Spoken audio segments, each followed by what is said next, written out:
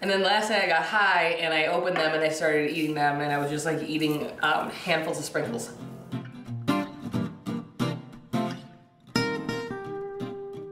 Hi, welcome to Angela's Anything Show. And tonight I'm gonna show you how to make chocolate covered pretzels that get you high.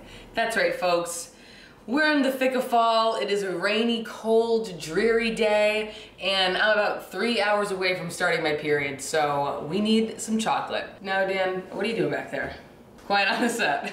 the main reason that we are filming this video today when the lighting is not that good is because uh, I have these pretzels in the house, and I don't know if you guys knew this, but pretzels are my favorite snack.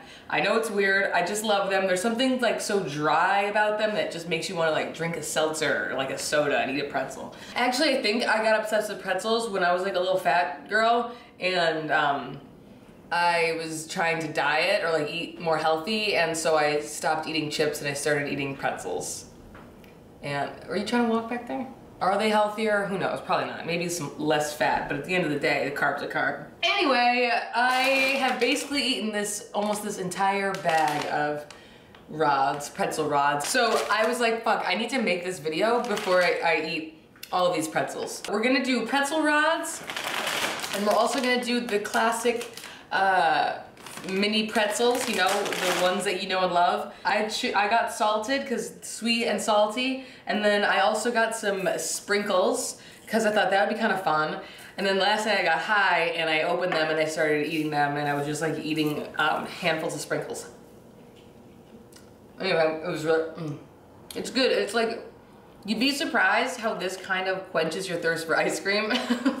And I got three chocolate bars, but then as I was setting this video up, I ate almost a whole chocolate bar. So we're just gonna put the rest of that in here. So we'll say this is like three servings of chocolate. I don't know, it's a lot, but I'm gonna put in, I'm gonna put in two tablespoons of cannabutter, I think. And so that means it'll be about 11, milli 11 milligrams per pretzel. So they're good because you can snack on a few and you won't like get like the R word, Ed.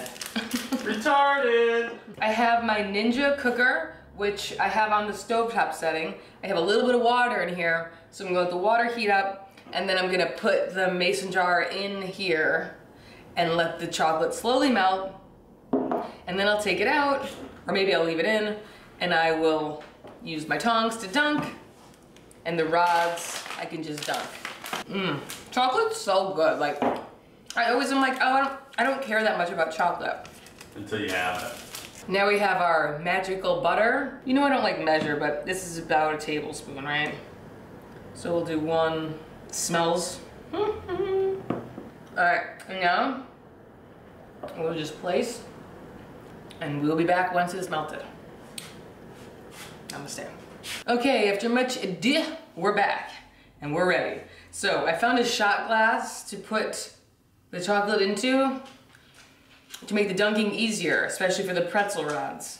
I tested it out, it seems like we're at a good consistency, so we're gonna dunk it and then sprinkle, which is a little challenging. You might wanna get smaller sprinkles.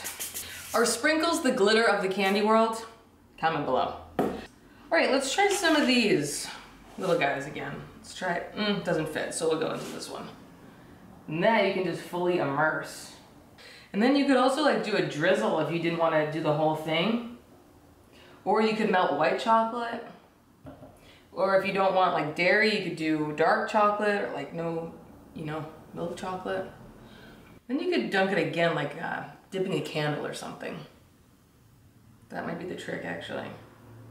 So that's basically the gist. I'm gonna do a bunch of these and put some sprinkles on them and then let them sit out and harden for, I don't know, however long. You can also put them in the fridge. Maybe I'll do that so that it's faster. And then I will be back with a taste test. So I'm really pleased with how they came out. They're starting to melt a little. Coconut oil always makes things melt faster, so be aware you need to leave these in the freezer or the fridge because they do get melty. Anyway, they came out great. I think the sprinkles were a great touch. And I'm gonna try a little bit for all you guys. Mmm. I mean, chocolate covered pretzels, you cannot go wrong. It's a classic sweet and savory combination. If you want the chocolate to be a little bit thicker, you could dip them, let them dry, dip them again, let them dry, dip them again. It would take longer, but if you want to do it, you should do it. And then, you know, these came out really good too. Just these um regular pretzels. Those came out good too. All right, well, that's it for this episode of Angela's Anything Show.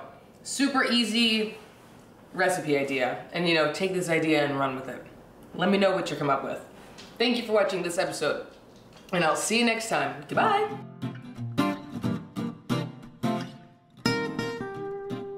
Also, my dad's name is Rod, so it's like I'm eating my dad, which sounds kind of weird. you got a rod, Rod? no? Dan's in the audience, he's looking at me.